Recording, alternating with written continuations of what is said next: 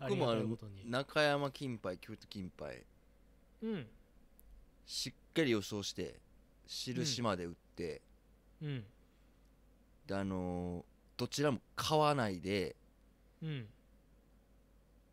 レース中あの来んな来んな来んな来んなって思いながら見るっていう新たな競馬をしましたね今日。でどっちも来なかった。ああじゃあ勝ちじゃん、うん、これ勝ちこれ勝ちじゃん。新しい俺うん。新しいの発明したかも。それだってプラスだよ。そう、うん。プラス。すごいね。買ってたら、ま、負けてたんで。うん。プラスなんですよ。そうだよ。プラスじゃん。でけ同じようやな熱量で競馬見,、見れたんで。うん。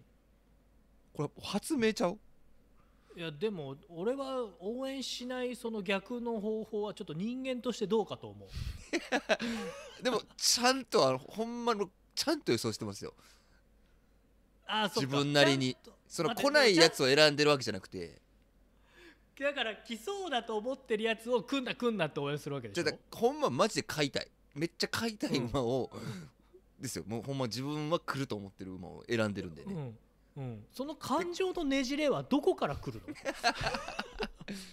いやでもそのどうせ負け負けたお金もったいないからうん、一回これちょっとたやってみようと思って買わずにうんうん。やってみたらほんまやっぱそ,、うん。それ来たら嫌じゃないですかやっぱ。買っときゃよかったってなるから。だかうん、らもう来んな来んな来んな桜通じる来んな来んな来んな。